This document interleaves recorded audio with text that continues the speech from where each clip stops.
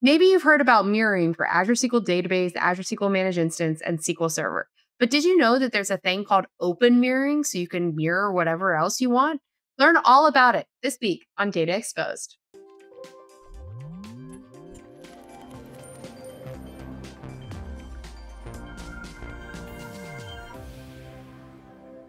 Hi, I'm Anna Hoffman, and welcome to this episode of Data Exposed. Today, I'm joined by Maraki, who's a product manager on the data integration team. Uh, why don't you kick us off by telling us a little bit about what you do?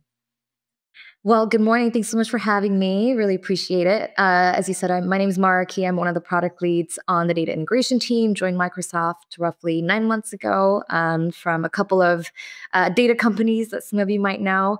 Um, and I spend a lot of my time thinking about mirroring and how to help customers get started really easily with um, their data in Microsoft Fabric, um, and you know, uh, more specifically focused on our open mirroring APIs and and making that platform more extensible and accessible to a lot of our customers. Um, so super excited to join you today. Awesome. Well, it's great to have you on the show. And we've talked about mirroring a decent bit on the show uh, for folks joining us in uh, for a repeated time. Um, but we've never talked about open mirroring. So I'm really looking forward to learning more about it. I don't know anything about it myself. Uh, so with that being said, let's let's get right into it. But maybe if you could share a little background on, you know, what mirroring is to begin with.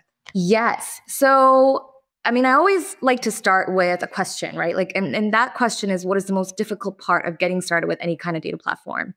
And the most common answer that we get from our customers is that the most difficult thing is getting data into that platform. So whether you are using Fabric or any data platform out there for your AI or BI use cases, you have to first actually get the data in.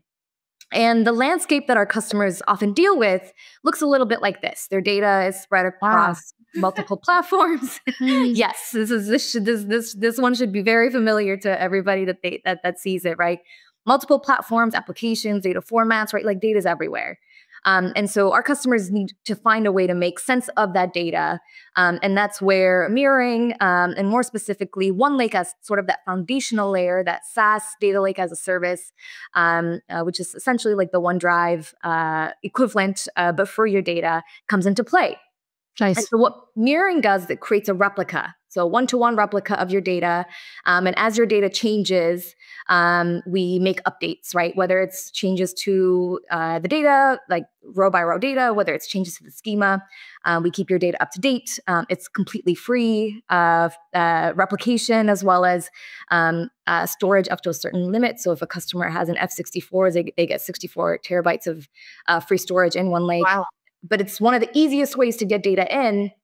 Um, and uh, today, right, uh, you know, as you know, Anna, we support um, all of these different uh, uh open mirroring or mirroring sources uh, for customers to leverage and get started with. Um, but a lot of our customers tell us, hey, this is really great, but my data is actually spread across legacy systems that um, are no longer managed, right? Like, so for example, in your world, Anna, SQL Server 2008, like how do I get data out of SQL Server 2008? Uh, or mainframes or um, bespoke data solutions that are out there, right? Um, things that are built on uh, like ERP systems that are built off of AWS, for example. Um, and customers need to find ways to easily extract that data. And we know that we can't really uh, scale to this particular image uh, as a company. And so, what our goal is to help empower customers and um, really meet them where they are. Love that. So, what what can they do? yes. So that's where open mirroring comes into play. So this diagram that you saw here, data spread all over the place, multiple platforms, multiple formats.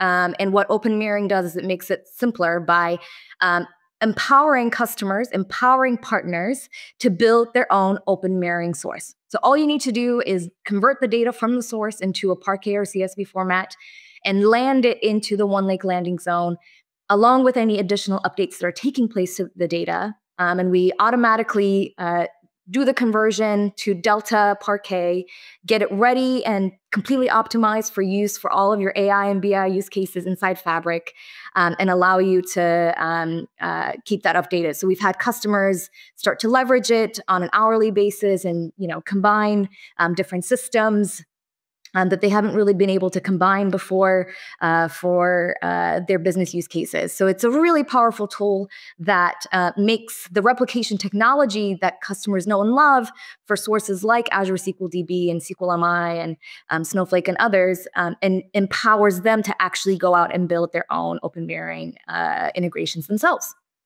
Wow, this is great. And I mean, this uh, demo is a, a, little bit quick, but as it's gone through, I, I've seen it does look really easy, right? Uh, and, and, I also love this point you you said on the side about via API. So I could put some own my own automation in to you know push it up every hour, or is that kind of how it works? Yeah. So let's kind of walk through the actual demo, right? So let me uh, back up and start it over. So you create your open mirroring source, and you can actually either drag and drop your Parquet and CSVs, like the demo will show in a minute here, um, and once you do that, it does everything, converts it to Delta, um, and uh, makes it ready for use in uh, Fabric. But you can also leverage APIs by first specifying the landing zone, which uh, we copied from that mirroring source, running the code itself. Um, and then once the authentication completes, you start to see the data flow in. So we had originally two tables, now we have three. You can actually go ahead and start querying that data as well. Um, so um, and I have other demos as well that kind of walk through the, t- the details of actually how to leverage that API um, if you're interested. Awesome. That's great. I mean, I think, you know, being the kind of lead for open mirroring, yeah, exactly. Like, wh- what else do people need to know? Yes. So, like everything else that you can do in mirroring today, um, what mirror open mirroring does is it auto generates SQL endpoint for you. Um, it supports uh, change data files. So if you have updates, if you have deletes, if you have data that's being upserted or inserted, um, we have support for those capabilities so that we can keep your data up to date um, in OneLake as long as you're able to push those change files up to us via the APIs. Um, and then, like every other replica uh, in Microsoft Fabric, whether you're using Azure SQL DB or SQLMI, like I mentioned, or Oracle at some point in the future, or Google with BigQuery in the future.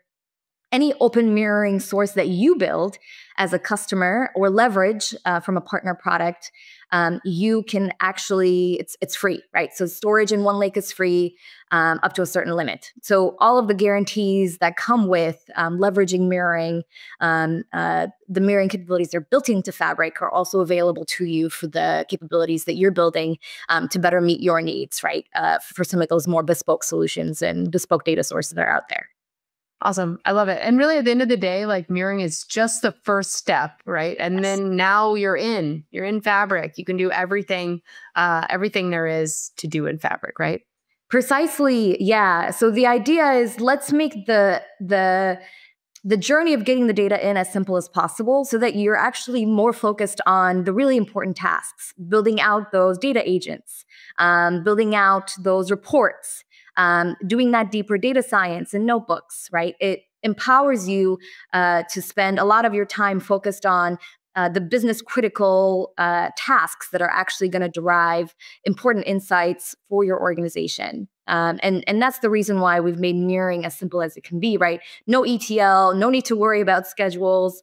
Um, you can leverage mirroring uh, for the sources that we support or open mirroring and actually uh, programmatically start pushing data up uh, on an hourly cadence on a you know weekly cadence whatever whatever cadence makes sense for you and we have lots of really amazing um, support for sdks and samples and things like that that are out available uh, uh, on the web that customers can use to get started today. Awesome. Great. Well, hey, I've learned so much uh, about open mirroring, and I think it's really useful. It's going to be really easy to kind of kick off. Uh, as we close out, any final tips or tricks or words of advice for folks who might be just getting started? Yeah, so a couple things. Um, we have a really vast ecosystem of partners that have actually built out uh, open mirroring integrations natively within their products. So Striim, Oracle, um, CluedIn, uh, SNP, uh, Simplement Dab, etc. Um, that customers can leverage today if they're on those platforms and, and leveraging um, uh, some of the, the, the partner products out there. The other thing that I will say, right, is um, we're increasing our partner ecosystem. So if you're a partner out there and you're listening to this, we'd love to have you join our ecosystem uh, of partners and be one of those logos on that list. Um, and the thing for customers and partners to kind of realize is that the journey that data needs to go on to be converted into a Delta Parquet format and optimized for OneLake is very daunting.